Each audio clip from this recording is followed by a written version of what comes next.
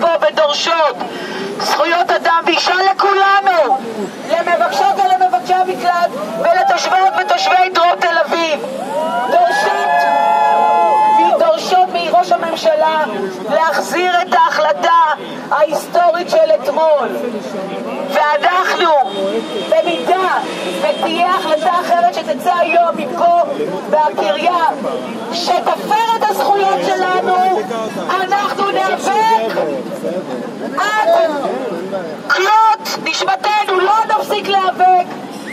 ניתן,